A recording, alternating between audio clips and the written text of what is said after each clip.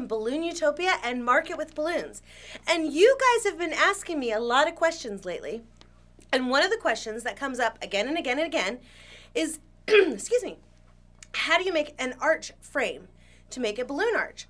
So I want to show you this. This is going to be a little bit difficult to film in this small room, but we're going to do our best.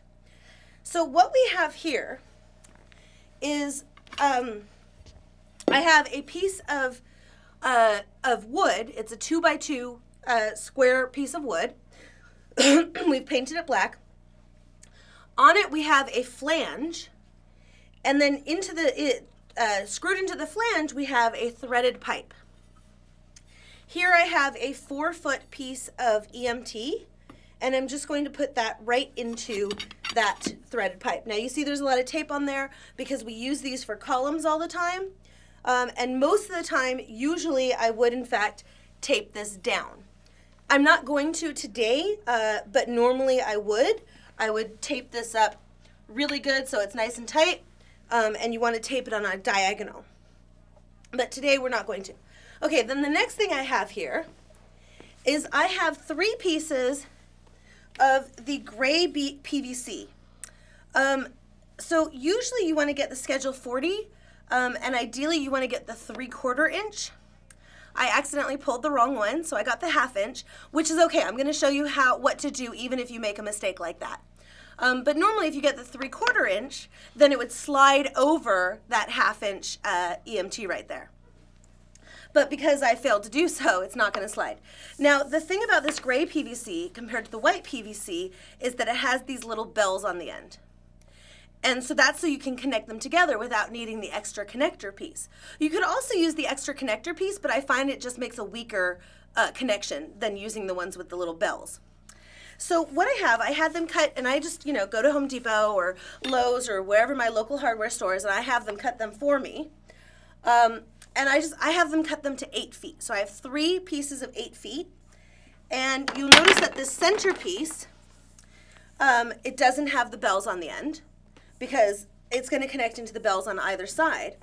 Okay, so you'll notice that I have a piece of tape in the center of the center, and that is so that I know where the center is.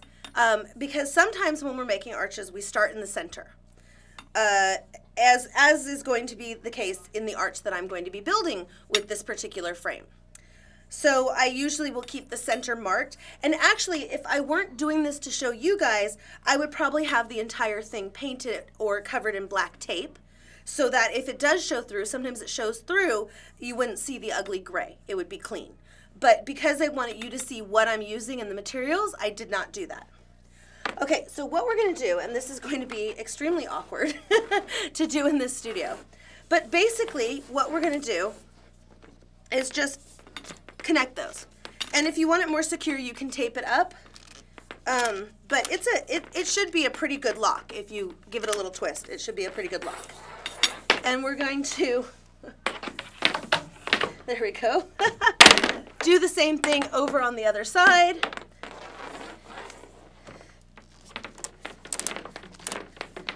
Okay, so you see that now the, this is what's important. The reason that we have three pieces and not two is because you don't want the stress right there in the center because then it's more likely to um, break and pop open. So you want that center piece to have a nice gentle curve and, and not have, uh, you know, like if you use two 20 foot, two 10 foot pieces for the 20 foot, you're almost certainly inviting disaster. Okay, so now what do you do if you accidentally bought the wrong size and it won't just slide over or you accidentally pulled the wrong size? So what you're gonna do is this.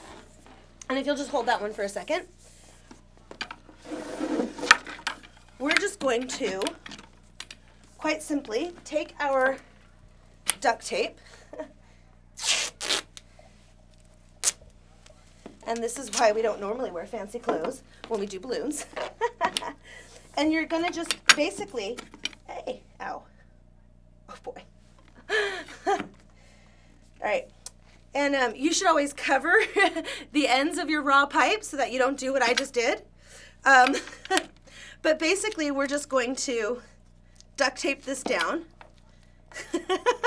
Bloody duct tape. All right. And uh, we'll be right back after I. And we're back. Okay.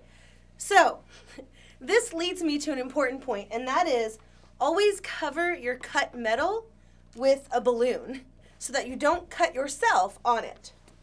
So what we have here, uh, you see I was duct taping it. We got some, some zip ties, and we just zip tied the, e, the uh, PVC to the EMT. Now, something that I want to show you, you see here we cut the cable ties.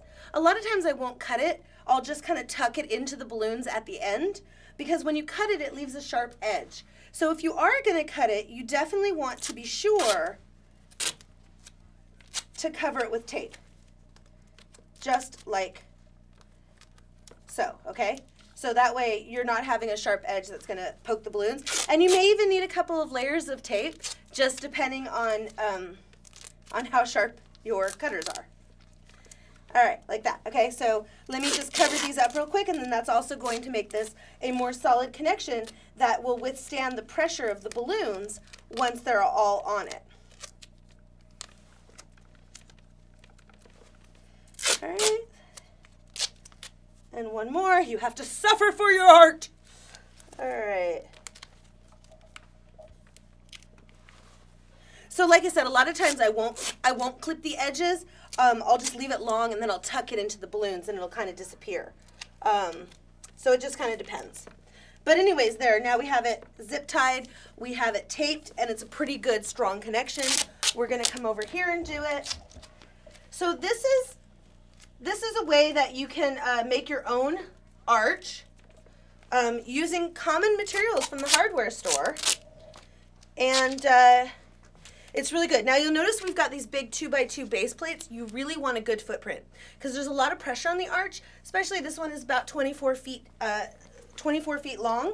Uh, if it was linear, this is about a double doorway size. This would be about the arch size that we would use for a double doorway.